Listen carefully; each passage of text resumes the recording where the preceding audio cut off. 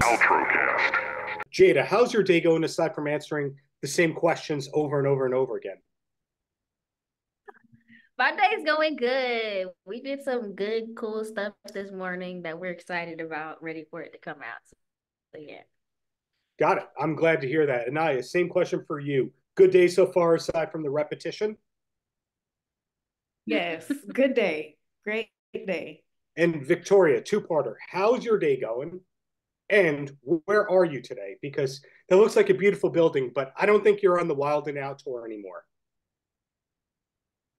Well, we still are on the Wild 'N Out tour, but our next show isn't till December. So, um, yeah, but that has been fun. But my day is going great. You know, we did some cool stuff earlier um this morning. Um, I, I can't give you too much info, but it's coming out soon. And we are at a artist development school, actually the artist development school that we actually met at.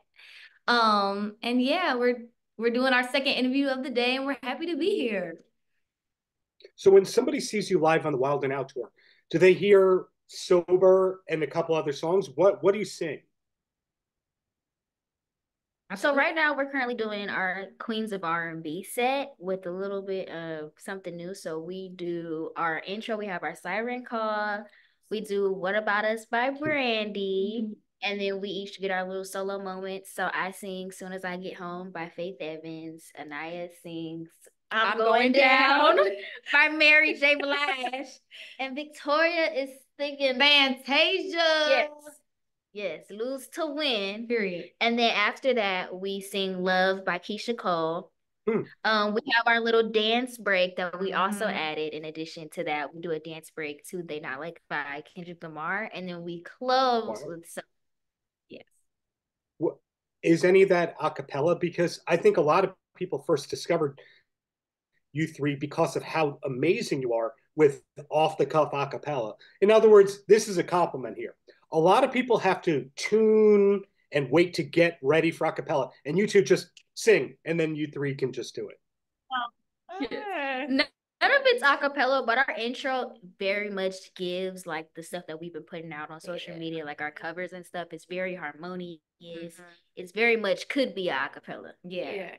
Wow. But just know that everything we're singing is live. Period. The mic is on.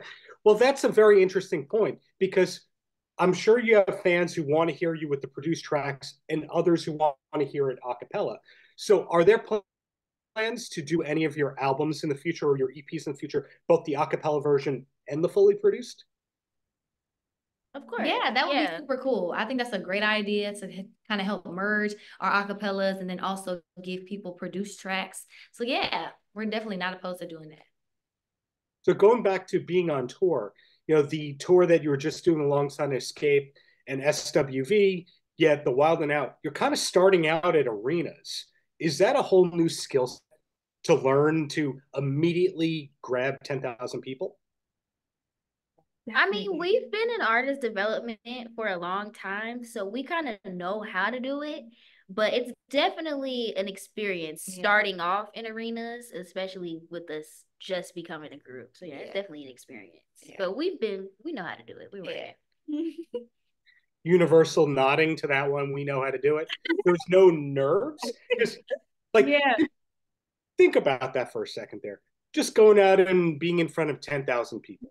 Like the average person would find that very Yeah. intimidating. Or do you just learn that in artist school Yeah. where it becomes second nature?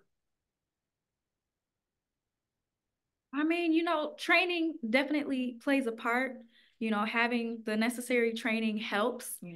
Um, but when we're on that stage together, we're having fun. Mhm. Like, you know, if a little, even if we notice like the the cons, not just the pros, like if there's a little slip up or like if the our mic pack, you know, something fell, you know, we laugh it off and we keep it going. Like Yeah. we find the humor in in a lot of the stuff, like in a lot of the stuff that people will tend to look at as a bad thing.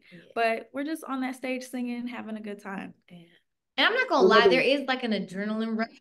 You get a rush of adrenaline, but I think it helps us. It pushes us to like perform even better. Yeah. So it sounds like it's more natural to be on the stage than off the stage for the three of you. Mm. I feel like it's natural in all aspects. Yeah. Everything comes a little easy. Yeah. Everything comes a little Yeah, we just like that. But it's good to see when the people out there are having Yeah. a good time. They're Yeah. like, okay, like to see them actually rocking with us. Cause you know, a lot of times you could get a dry audience and they looking at you like, yeah. who are you and you what are you doing up here? But when you see them smiling and like moving to the music, it's it's a good feeling. yeah. So a question I have about your background is your bio talked about how Kandi discovered your group because of a viral video of you, you all harmonizing. Which song was that? Was that I'm Every Woman? Oh, Mm, no. We were singing actually, it was Danity Kane. Yeah. Uh, I don't even remember the name of it. It was like I'm addicted to kissing. Yeah. I don't remember the name. for Love. Sucker Sucker for for Love. That's Yes, the that's what we were singing. Yes. Sucker Wow. for love. And she saw and she was like, Who are these girls that are singing that? I must know. I must know. it's it's funny though with your influences, hearing Danity Kane, yet seeing an Anita Baker cover and then a Chaka Khan cover. It sounds like 30 to 40 years of pop music is all over the place with your influences. Yeah. Yeah, we love all kinds of music. Yeah, we do. We get into everything Yeah. for real. And I feel like as an artist, I feel like a lot of artists nowadays, you have to study the greats, you know? So you Mhm. can pick things up and learn things. And we mm-hmm. definitely do that. We definitely study the greats and learn from the greats. I think Can I that's why a lot all- of people Oh, I'm rudely Yeah. interrupting you. That was my fault. You please go ahead. I'm sorry. That was unex- uncalled for. You're good. no, you're good. I was just saying, like, I think that's why a lot of people rock with us because we're young, but we know all the the oldies. We know the good. We got that soul in us. We Mhm. love R and B. Like, Mhm. like she said, we study the and we, you know, yeah, Well, pay am I homage allowed to the ones that keeping their things before us. totally? So, am I allowed to ask what your first concert was? All three of you? I think my very first concert that I ever went to was Ariana Grande. Oh. It was the Dangerous Woman tour. Same. Really? My This- first concert was Yeah.